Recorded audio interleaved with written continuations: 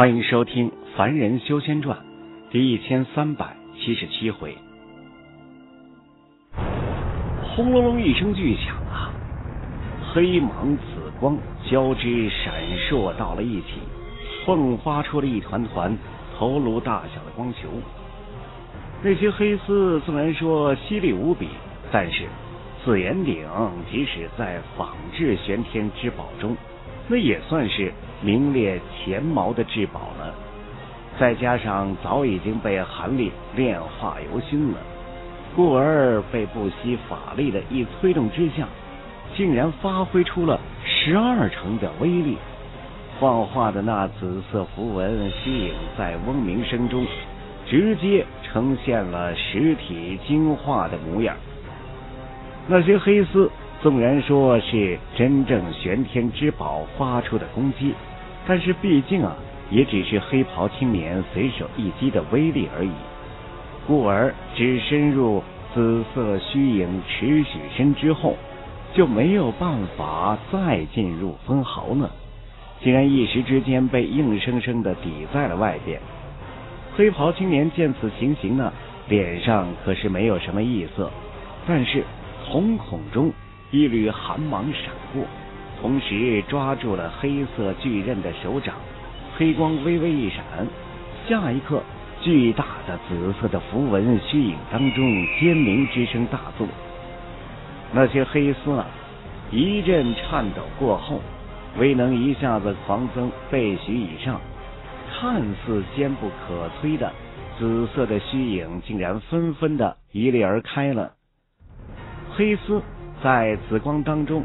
从四面八方向中心处的韩立飞快的靠近去。韩立呢脸色不禁一变，手中的法诀一变，就要再次催动紫炎鼎呢施展其他玄妙的变化。但是这个时候已经迟了，正绽放紫色光芒的小鼎一声哀鸣，咔嚓之声传来呀。接着，表面呈现出了无数的白痕，在一闪之下，就化为了一团光焰爆碎而开。紫色符文虚影一阵模糊过后，瞬间凭空破灭掉了。密密麻麻的黑丝一闪之后，顿时再也没有任何阻挡的往中心处急滚而去，一副要将韩立。千刀万剐的模样！韩立呢是瞳孔骤然一缩，毫不迟疑的两手一握拳，口中呢同时爆发出了惊天的怒吼之声啊！刹那之间，他身上的黑气一滚，无数的黑色符文从体内狂涌而出，在一灵之下幻化成了一件漆黑如墨的黑色的战甲，同时他背后金光一晃。一个三头六臂的金色法相冲天现出，六条手臂一挥之下，从掌心中各自射出了一团金蒙蒙的光焰，并在秦欧身前是汇聚一起，汇成了一个巨大的金色的漩涡。里面的轰鸣之声一响，漩涡疯狂一转，无数金纹从中狂涌而出。并幻化出了一股股庞然巨力出来，竟将部分的黑丝硬生生的一卷而入。至于那个三头六臂的法相，却在体表金光一流转之下，凝结成了金灿灿的实体，身上隐隐约约现出了一副模糊的金色甲衣，然后一闪就挡在了韩立面前。此金身。六只毫无感情的金木一睁开之后，手臂顿时虚影一阵狂舞，瞬间的功夫，无数的金色拳影凭空就浮现在了附近的虚空当中。一个闪动过后，就狂风般的向四面八方狂卷而出。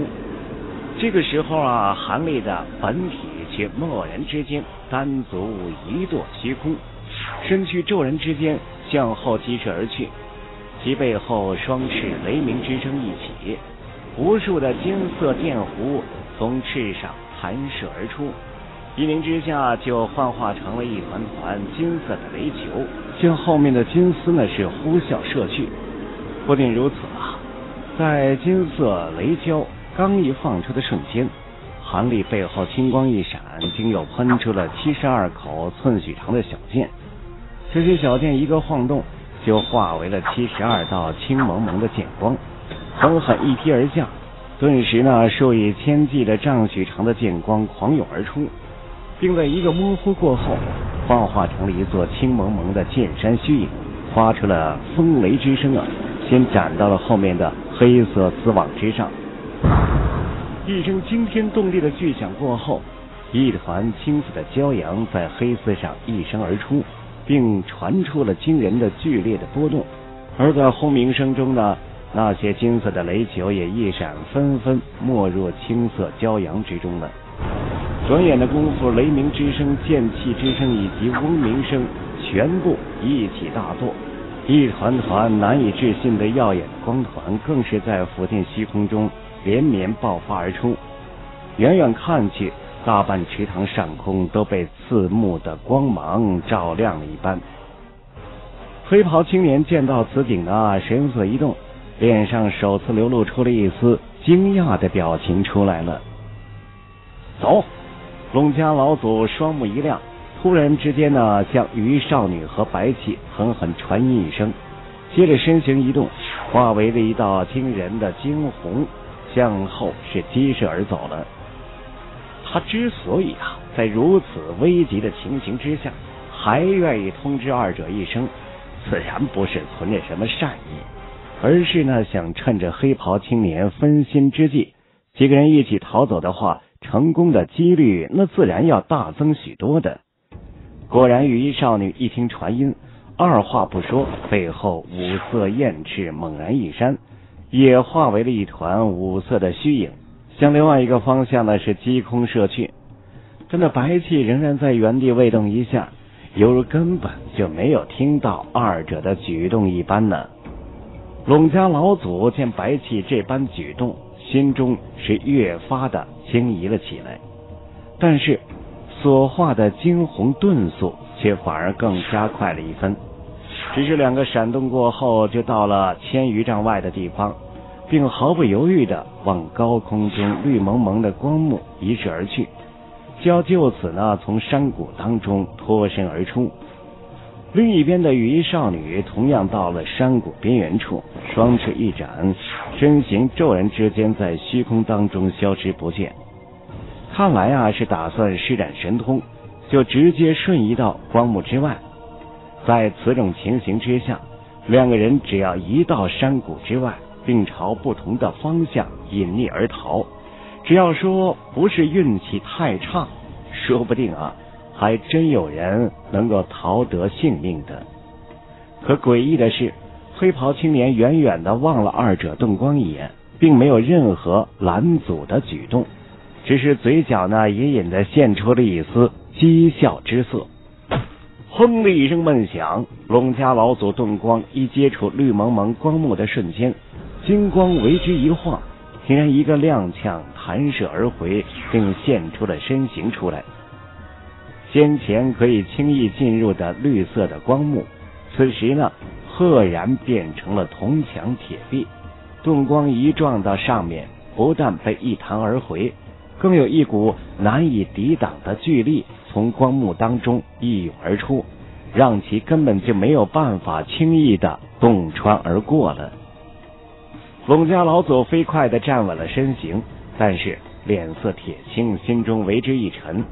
若是换做其他时候，这层禁制固然有些麻烦，但是他自信呢，只要稍微动用几种手段，还是有把握破开眼前的禁制的。但是在一名魔族圣祖面前想做此事的话，那却是白日做梦的事情了。这位魔界巨情又怎么可能真的给其留下破除的时间呢？不光是他，消失的羽衣少女同样在光幕前一闪，再次现出了身形。此女惊怒之下，接连变换了其他几种空间秘术，也一样的没有办法洞穿光幕而过。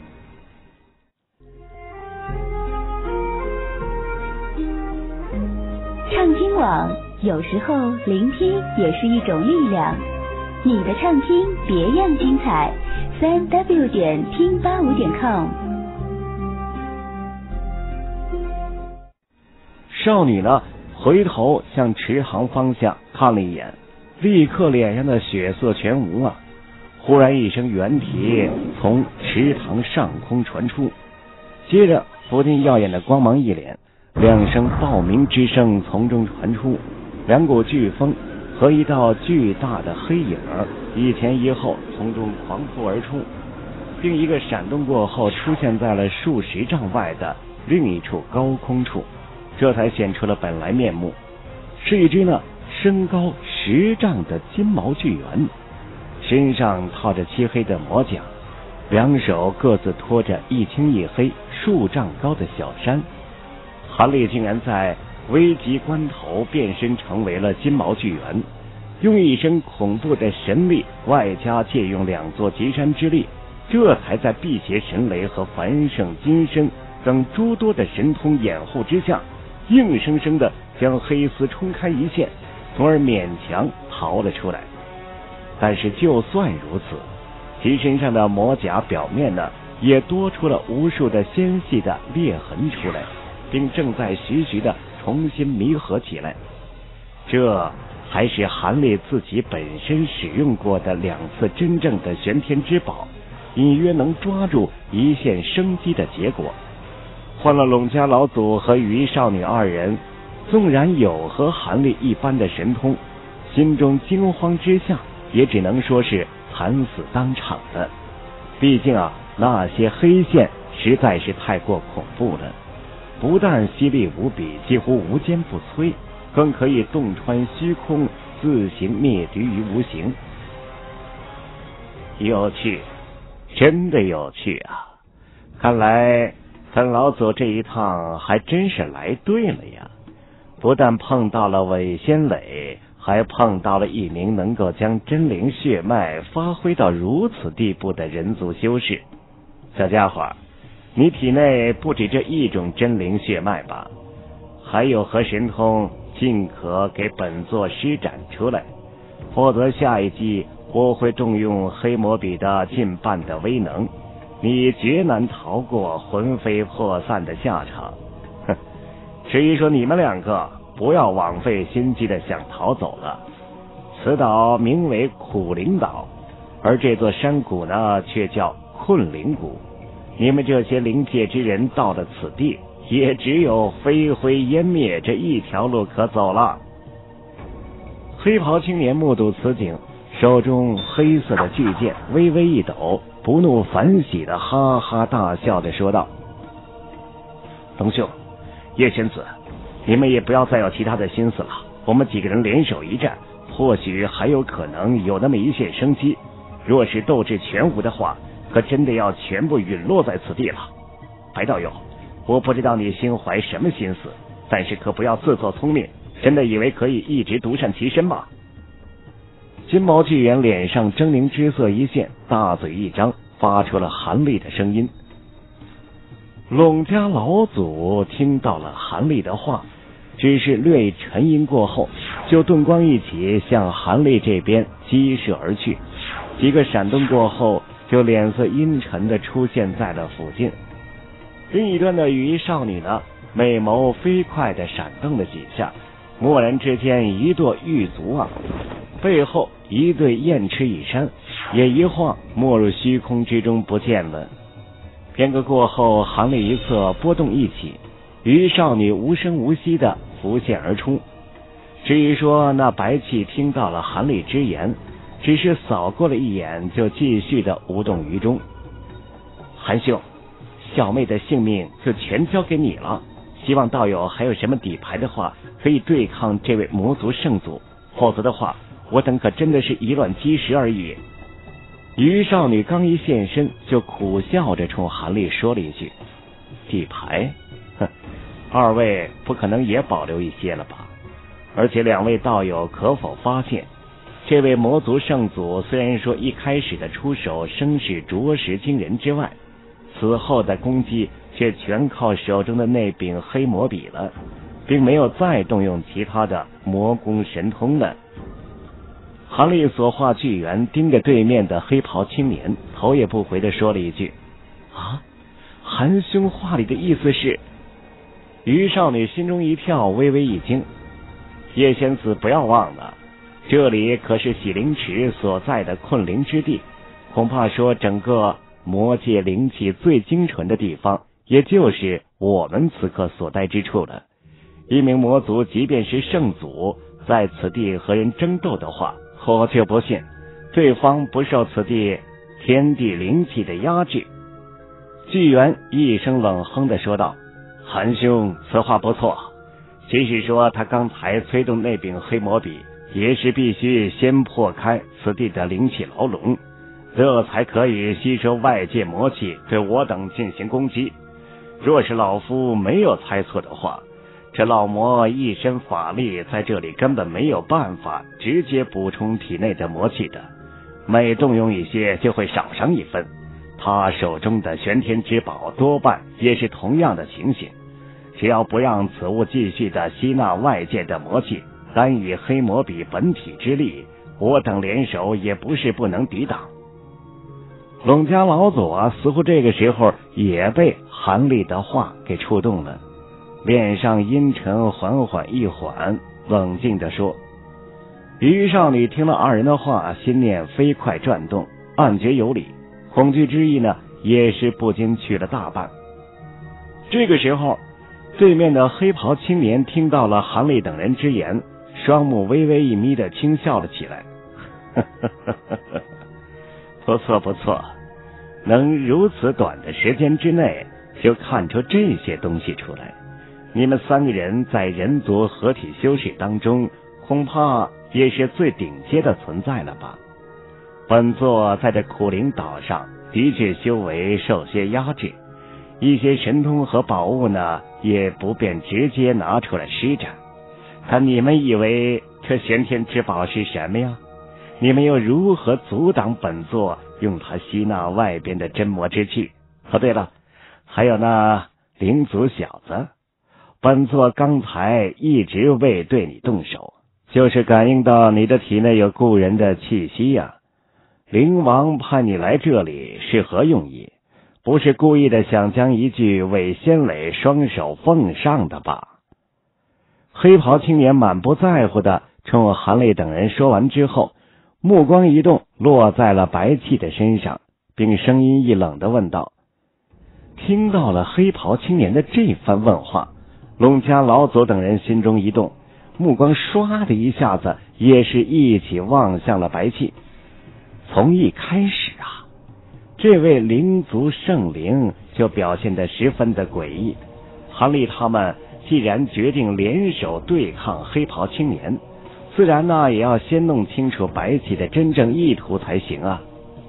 在白蒙蒙的光霞当中，白起虽然面容无法看清什么，但是听了黑袍青年的话语之后，体表微微闪动几下，终于沉声开口了：“白某来的时候。”族中的那位大人的确嘱咐了几句话，并在我的体内种下了一枚分灵符。不如就让那位大人亲自和前辈谈上一谈，你看如何呀？话音刚落，白起身上的白光为之一脸，现出了他的真容，竟然是一名啊身穿锦衣的中年男子，面容普通异常，但是双目银光灿灿。那眉宇之间有一个淡紫色的灵斑，此刻正在闪闪发光。